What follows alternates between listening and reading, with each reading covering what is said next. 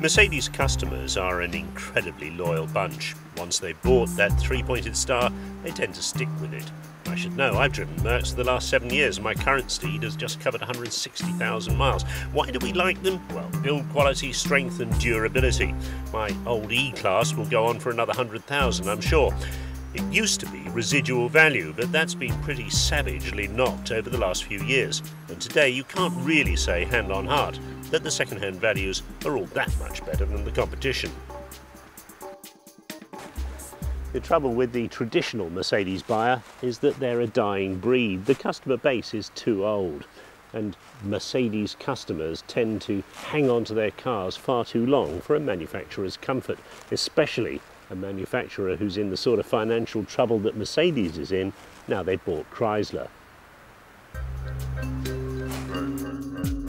Hence the need for this, the new C-Class Sports Coupe, a smaller, lighter, cheaper Mercedes that makes a real fashion statement. A car designed and marketed to pull back some of those BMW 3 Series sales and some of those younger buyers who care more about image and performance than they do about reliability and long life.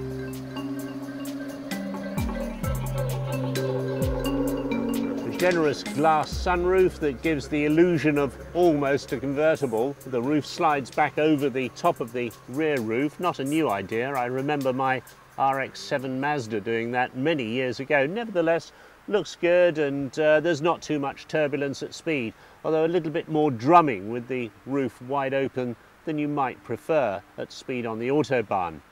Inside, well, as you'd expect for a Mercedes, quality looking materials. The plastic trim looks nice. Uh, the aluminium trim round the centre of the console here is good. But as for the rest of it, well, it's unrelieved gloom of too much black carpet and dark grey in the seats, although the seats themselves are very supportive and very comfortable. In the back here, well, not a huge amount of legroom as you'd expect for a compact coupe, but nevertheless full-size seats and uh, a decent amount of legroom if uh, small adults or children are going a long distance.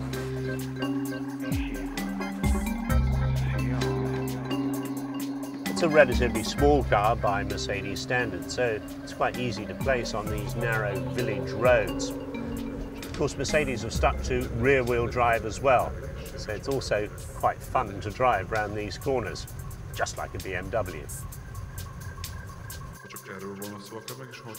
This car is fitted with the Mercedes Sequentronic gearbox. It's one of these new trendy paddle shift operations, no clutch, and an electronic control for the gear shift itself. Personally, I'm not convinced. I prefer either a proper automatic or for screaming up and down the south of France cols, a clutch lever and a gear shift. The coupe we drove, a 230 compressor, could break the 8 second barrier in the 0 to 60 dash and go on to a maximum of around 150 miles an hour. There's also a 1.8 litre petrol, a 2 litre supercharged and, unusually for a sports car, a 2.3 diesel engine, which is only marginally slower than the supercharged petrol car and much more economical.